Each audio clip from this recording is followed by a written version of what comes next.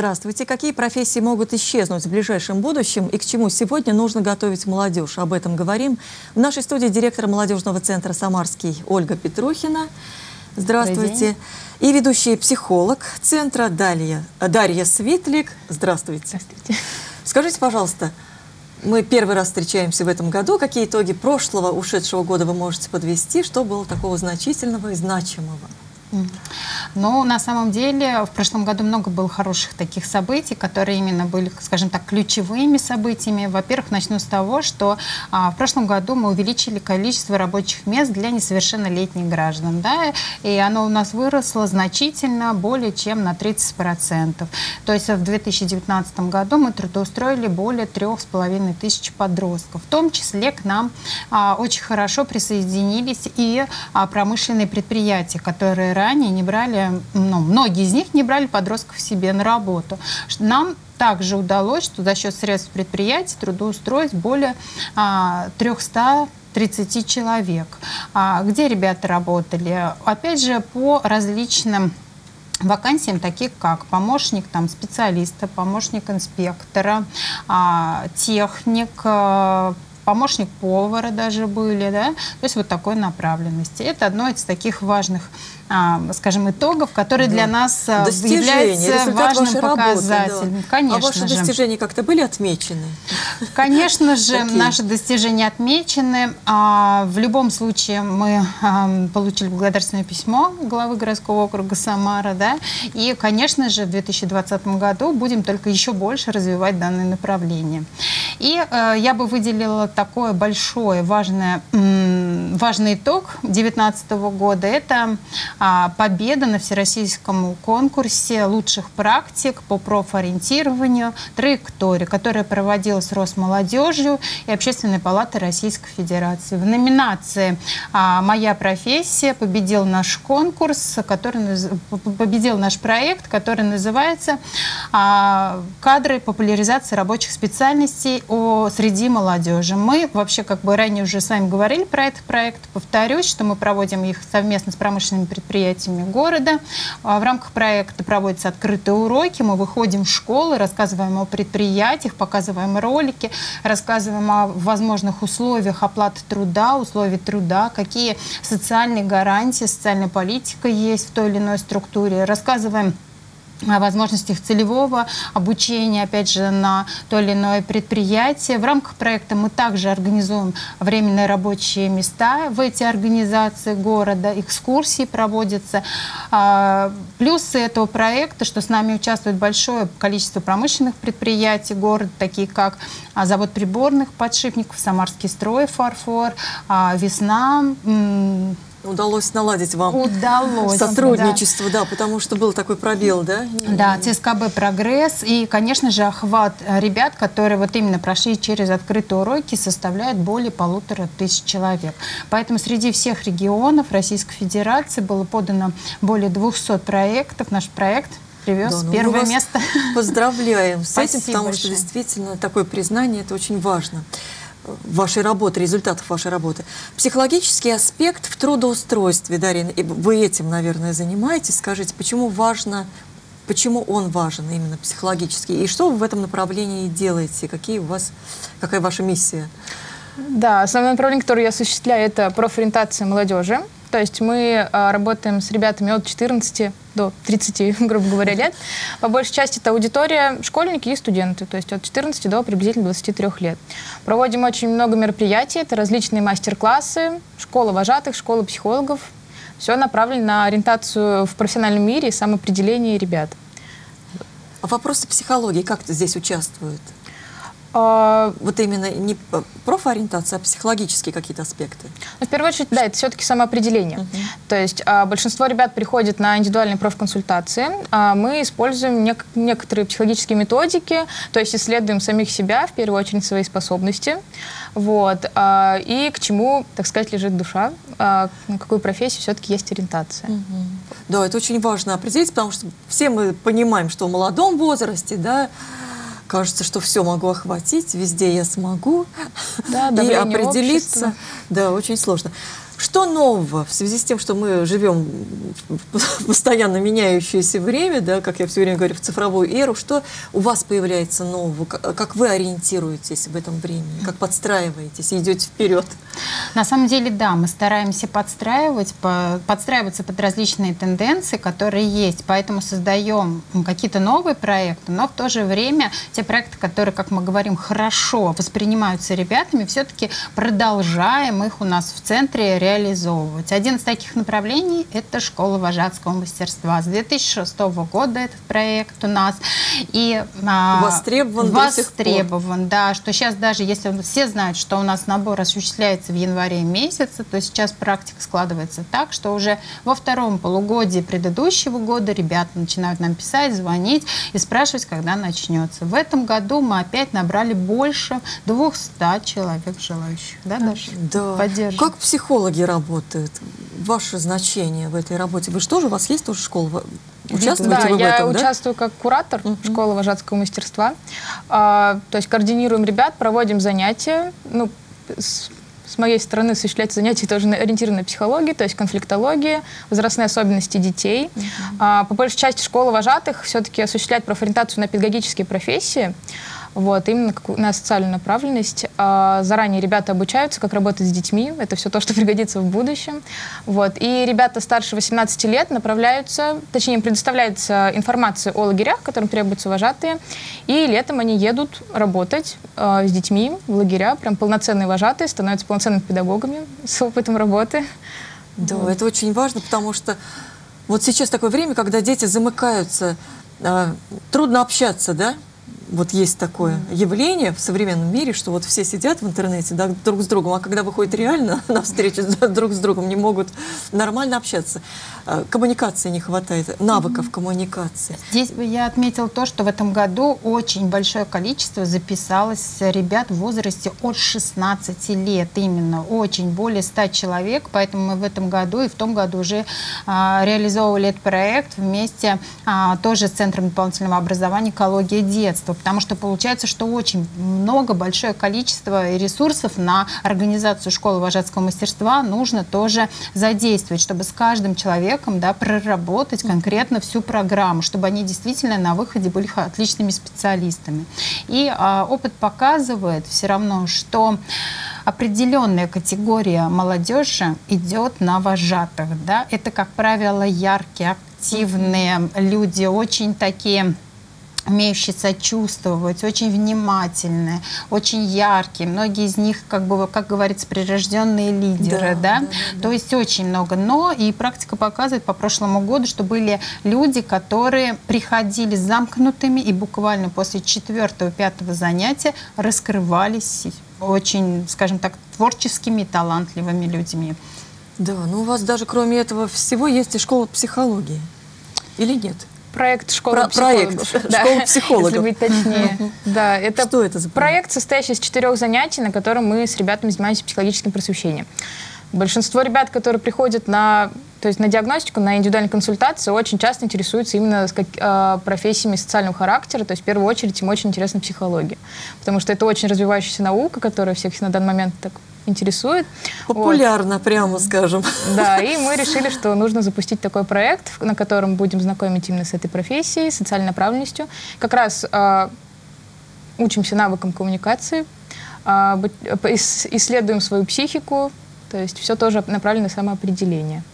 А как вы относитесь к тому, что сейчас многие психологи дают консультации онлайн? Вот к этой деятельности, не напрямую общаясь вот вживую с клиентами, а вот очень много таких психологов, которые консультируют, что-то там вот выясняют. Это как? Все-таки психолог это социальная профессия. Я считаю, что должен сохраняться именно контакт как физически, Ж, не, живой, не только, да, да то есть живой контакт, именно общение один на один. То есть важно для человека, для пациента, так скажем, вот в кавычках, грубо да, говоря. Как, да, да, грубо говорят, что это важно тоже, не ну, через вот какие-то там да. медиа. То есть читать эмоции, жесты, все равно это как бы теряется, так сказать, при передаче видео, либо каких-то звуков. Понятно. У вас есть интересный очень лайфхак по трудоустройству. Что это такой проект? Угу. И современное название какое-то. И я думаю, что для определенной категории людей нужно его да. расшифровать все-таки. Я очень оценила, да, то, что вы тоже следите за нашими актуальными проектами. Вообще проект э, действительно интересный, новый. И идея родилась э, тоже у другого ведущего психолога Ирины Емельчонковой. Сделать это в рамках э, проекта Дни студенческой занятости в Самаре. Тоже ежегодный проект, который проводится в неделю вот до 25 января. А, очень мы тоже понимаем, что студенты занятой народ, да, и не все смогли к нам прийти именно на различные мастер-классы, которые вот мы наполняем неделю перед днем Дня студента. Но мы хотим быть полезными, нужными. Мы видим, что ребята подписываются на нас в группу ВКонтакте в Инстаграм, поэтому нужно, чтобы, это, чтобы читали. Мы также активно взаимодействуем с предприятиями города, абсолютно со всеми. И вот а, многие представители организации отозвались на нашу идею о том, чтобы вот какие-то сделать короткие, э, скажем так, эссе о том, как ребятам пройти собеседование, то есть какие-то определенные ключевые моменты.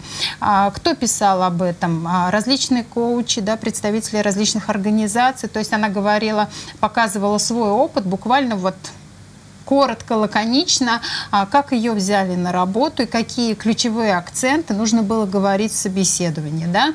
А, представитель компании Дом.ру а, говорила о том, что все-таки как готовиться к собеседованию, да, и какие акценты нужно делать. Опять же, это не длинной статьей, а действительно угу. короткими лайфхаками, то есть короткой информацией. То есть ребята да. взяли этот момент да, себе а, как бы в память, да, и это обязательно выстрелит. То есть не надо читать эти большие, огромные да, статьи, да, да. А потому а что коротко, уже восприятие меняется да, молодежи. Конечно, как только конечно. они видят что-то длинное и нудное, да, прямо скажем, да. они просто от этого отказываются. Права я как вот, психологической точки зрения вы такую ну, тенденцию отмечаете? Большой объем информации в печатном тексте на данный момент ну, воспринимается скучно, всегда нужен какой-нибудь интерактив.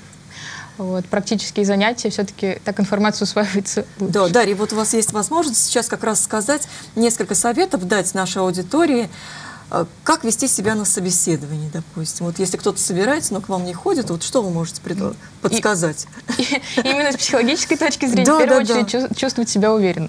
Вот. А, это такое основное твое настроение, которое а должно как настроиться на то, чтобы чувствовать? Это же не просто так чувствовать себя уверенно. Ну, хвалить себя, хвалить? считать, что никто а, как бы лучше, чем я эту работу не да, выполнит. Никто лучше не сделает, чем я на данный момент. И все-таки именно уверенный настрой а, это то должно сопровождать на собеседовании любого человека.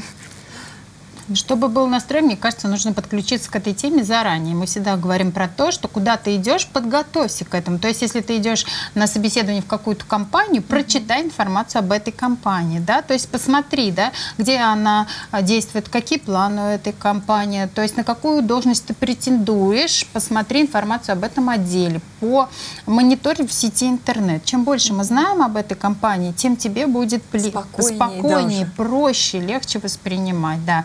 Опять же, не опаздывать на собеседование, да, ни в коем случае, а прийти заранее, то есть минут за 15 уже а, быть. Может быть, возможно, подготовить какие-то тоже вопросы, чтобы показать заинтересованность.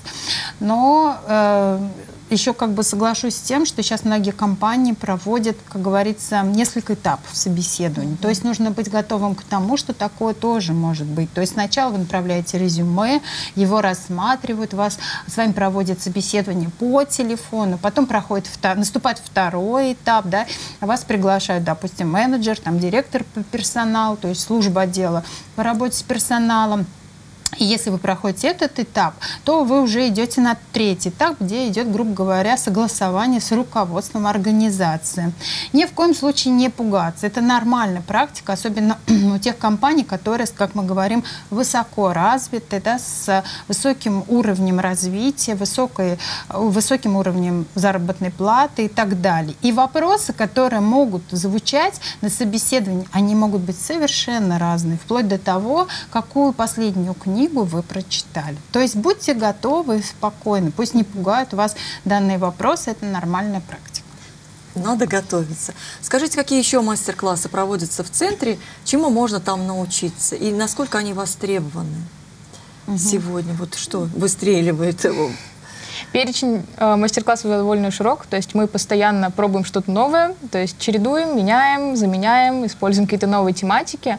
А, по большей части, как бы пользуются популярностью э, мастер-классы, направленные, опять же, на психологические составляющие. То есть особенности характера в выборе профессии, как найти именно свое призвание в какой-то профессии. Но и также отмечу, что популярностью пользуются мастер-классы именно про современные навыки, про современные профессии. На самом деле ребята на данный момент интересуются довольно, довольно многими вещами, вот, поэтому мастер-классы у нас тоже довольно Можно следить за новостями, да, и на любой, просто запи предварительно записаться и прийти, это абсолютно бесплатно. А, как правило, тоже понимаем, что какая-то часть мастер-классов ориентирована на школьников, на выбор профессию, какая-то часть мастер-классов ориентирована на ребят, которые повзрослее, Вы приглашаете студенты. консультантов, да? Специалистов на них у или, нас, или своими силами? У нас, а, у нас как Дарья Александровна, Ирина Емельченко, ведущая, так на некоторые мастер-классы к нам приходят да, приглашенные эксперты. Как правило, это а, представители работодателей, очень крупных работодателей Самары. А ярмарки вакансий, которые в практике, вот э, в традиции, они не уходят в прошлое, они также проводятся? Есть к ним интерес? Ярмарки молодежных вакансий проводим также, только теперь территориально на площадке какого-либо учебного заведения, среднепрофессионального mm. или высшего.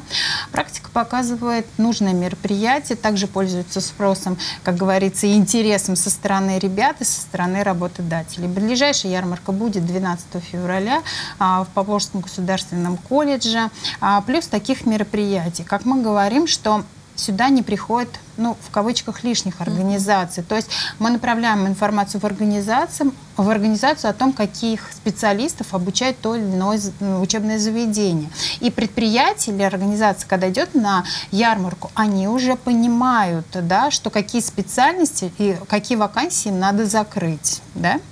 Не будем озвучить, но, например, а, государственное учреждение, да, где требуется большое количество юристов, зная о том, что в этом учебном заведении готовят специалистов, специалистов приходит, то есть им это интересно, площадка. Берем какой-то технический, э, технический вуз, там, конечно, идут больше а, предприятия, которые ориентированы на молодые кадры именно после технических специальностей. То есть, скажем, более такая адресная под, подача информации, да, да, да, да адресная. А, ну, сейчас такое время, когда никто не хочет экономить свое время, не хочет тратить на что-то лишнее. Поэтому получается, что за короткий промежуток времени, потому что, как правило, ярмарка идет не более трех часов, и работодатель находит большое количество а, работников, а, и работники максимально тоже проводят время с пользой. Во время ярмарки также можно посещать различные мастер-классы и а, лучше, конечно же, мы всегда говорим, прийти подготовленным, то есть заранее составленным резюме. Отдельная тема – это трудоустройство подростков э, с отклонениями в здоровье, с особыми возможностями здоровья. Какие-то новые возможности появляются? Вот как выстроен этот процесс у вас? А, в этом... Может быть, есть какие-то цифры? Сколько, сколько вы помогли? Сколько? Порядка, вот в 2019 году, если именно говорить о подростках, то мы в рамках муниципальных программ и областных трудоустроили э, порядка 190 человек.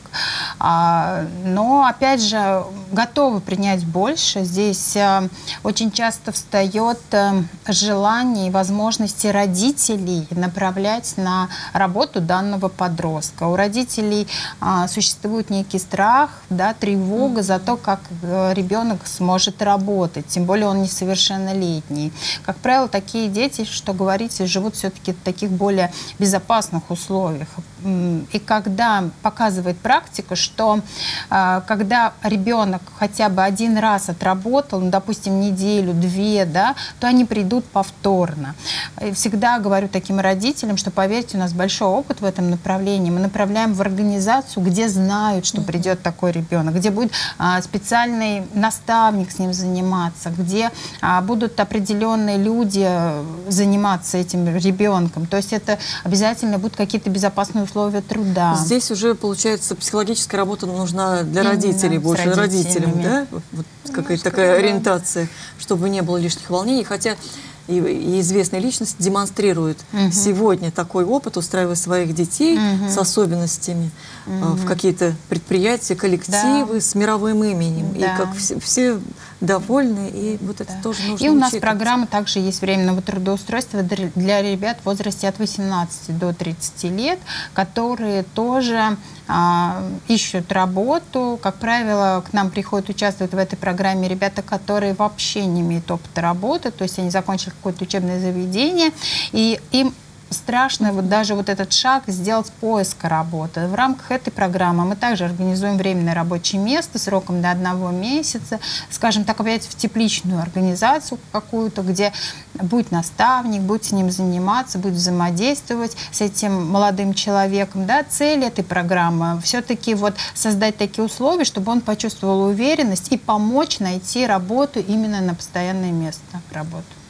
Дарья, вы сказали, что есть интерес к тому, какие будут профессии в ближайшем будущем. Можете раскрыть нам тоже, что будет, на что ориентироваться уже сегодня молодежи, потому что ну, все меняется. Да, Все-таки большинство специалистов сейчас говорят о том, что будут востребованы технические специальности. А, да, такие как нан нанотехнологии, а, различные робототехника. То есть сейчас идет тенденция, а, что на производствах людей замещают угу. какими-то происходит автоматизация.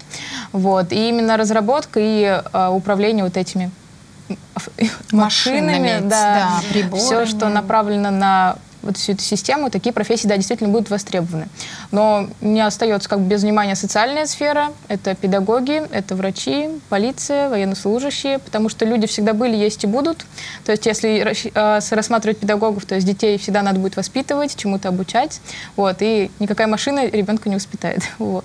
И такие профессии тоже будут достаточно Ну, я даже слышала, что и психологи будут очень востребованы, высшие, высокой категории да. в ближайшем будущем, что от этого не уйти, потому что проблемы тоже они не уйдут. Конечно. Да, Человеческие, психологические никак. У Поэтому... современного человека уровень стресса гораздо выше, чем, например, если сравнивать с, исследованием, с исследованиями лет 15-20-летней давности. Вот. А, и качественные действительно психологи будут тоже востребованы, такие специалисты. Да. Здесь вообще хочется поднять эту тему, что все равно э, ориентация и рынка труда идет на профессионалов. Конечно же, в любой сфере, если ты профессионал, то, конечно, ты будешь востребован. Это еще раз говорит о том, что нужно развиваться, развивать различные свои навыки, получать дополнительное образование. Только специалистам у нас востребованы, независимо от того, в какой сфере ты работаешь. Да, да, да. Не хотелось бы обходить творческую такую составляющую, творческое развитие, творческое самовыражение выражение, оно как-то будет, вот как-то можно приспособиться, если ты вот не, рабо не, не, не, не технарь, а угу. с таким, с гуманитарным содержанием. Так ну, вот что делать? Креативность — это э, одно такое большое, то, что отличает человека от машины. То есть не, машины, конечно, умеют копировать рисунки, но создать что-то новое и уникальное пока что может только человек. Поэтому творческие специальности Отчаиваться будут не тоже... Стоит. Отчаиваться не стоит ни в коем случае, потому что творчество — это очень даже прекрасно. Вот, и востребован тоже. Сегодня очень много находят э, людей э, самовыражений в интернете и предлагают свои услуги. Как вы к этому относитесь? Это вот меняется вот, с профориентационной точки зрения тоже можно как-то поменяться, тоже предлагать людям выходить в интернете со своими вот какими-то задумками реализации. Вот кто вот? Ну, психологи оказывают услуги, педагоги через интернет, еще да, да масса там. Но это вообще все равно форма занятости э, людей в целом, скажем так, да, это тоже рабочие специальности, вернее, это тоже один из форм занятости для молодежи. Вообще, как бы сейчас а, идет такой тренд на работу именно удаленную, да, многие вот. любят работать как привлеченные специалисты, да, почему бы нет, это одна из возможностей, которая ну, развивается. Как говорят, сегодня самозанятые. Самозанятые, да, да, да, да, это тоже возьми, э, возможность развиваться.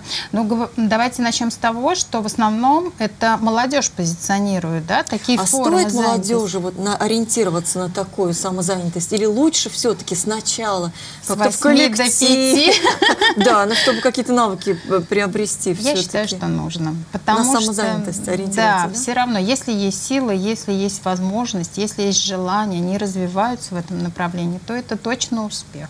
А все-таки, конечно же, более взрослые, направление, более взрослые люди ориентируются на а, график работать привычный, привычный да, стабильный, да, при этом, может быть, работа и не доставляет там кучу удовольствия, да, и нету возможности что-то креативить и так далее, да. А современная молодежь все-таки работает немножко в ином темпе. А, многие, например, делают акцент там, на реализацию какого-то проекта, да, и, как правило, эти проекты, там, допустим, не круглогодичные, а то есть там идет определенное количество месяцев, вот, остальную половину месяца восстанавливаются, придумывают mm-hmm. новые проекты. Почему бы нет, если это получается, только, да, наоборот, нам надо поддерживать эти направления работы. Да, и даже, может быть, какие-то новые проекты придумать именно вот в да, этом направлении. Да, да, да. да. Это, вот тоже это рабочие тоже... места, и повышается уровень доходов в самозанятых граждан. Да, да, да. Тем более сейчас э, такая политика налоговая. Да, да почему бы там нет, конечно. небольшие проценты налоговые. И остается у нас немного времени. Хотелось бы еще несколько слов сказать о занятости во время каникул. Вот будут ближайшие весенние, затем большие летние. Стоит ли ориентироваться вот на такие небольшие сроки занятости угу. вот, или нет? А, если Или говорить, уже лето ждать? Если говорить вообще в целом, то мы обязательно будет у нас с марта месяца, с февраля организация занятости во время учебного процесса. Те ребята, которые могут работать, да, а, пожалуйста, приглашаем. Напомню, что 14-летние и 15-летние работают 2,5 часа в пятницу, 2, и 16-17 лет работают 3,5 часа в день после учебы. Напомню, что мы не можем привлекать к работе выходные, праздничные, там, ночные выходное время, да, поэтому нужно будет предоставить документ э, с учебного заведения о том, до скольки ребенок учится. А если говорить о каникулах на летний период, то, конечно же, однозначно надо поработать любому подростку хотя бы, ну, скажем, месяц, да, чтобы почувствовать свои силы. Это опять же вернусь к тому, что отличная возможность профориентирования, возможность найти себе новых друзей, определиться вообще с направлением своего профессионального развития в дальнейшем. Ну и, конечно же, получить заработную плату. В любом случае запись уже начнется с 1 апреля. И у нас буквально два слова о двух проектах, напомню, которые есть для молодежи. И тоже ребята могут принимать участие круглогодично. Это в рамках путевки в профессии поддержка безработной молодежи Самары, в Самаре, а, программа фонда «Арконик», которую мы реализуем с благотворительным фондом Самарской губернии. Обучаем ребят, напомню, да, в этом году обучаем по профессии автослесарь и пекарь. Потом а, ребята также проходят стажировку оплачиваемую, и мы находим постоянное место работы. И второй проект, который у нас сейчас он прямо стартовал буквально с января месяца, совместно с благотворительным фондом «Хранитель родителей детства и мегафоном. Называется он «Включайся, будь успешен». Ориентирован тоже для а, детей-сирот, подростков-сирот от 14 до 20 лет. Проект состоит из нескольких этапов. Тоже мощная профориентация с использованием а, мощного информационного ресурса с сайта, например, .ру. И а, проект тоже ориентирован на посещение различных компаний, то есть экскурсии и обязательное трудоустройство. При этом один из желающих поедет в Москву в компанию «Мегафон». Вот.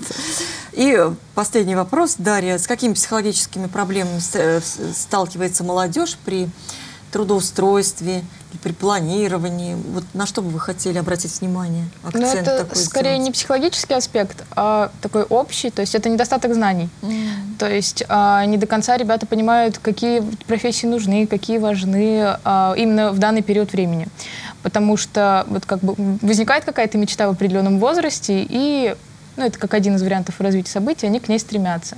Вот. На самом деле нужно анализировать, смотреть, какие профессии востребованы, какие навыки ты приобретаешь сам на протяжении жизни. И самое главное, чего ты хочешь. Uh-huh. Вот. А, как раз... Разобраться в себе да, вы разобраться поможете, в себе, да? мы привлекаем как раз молодежь к тому, чтобы в первую очередь разобраться с самим собой. Вот, и рассматривать все-таки то, что ты умеешь сам. Ну, спасибо за эту важную и полезную информацию. Всего хорошего. Прощаюсь я и с вами. До свидания.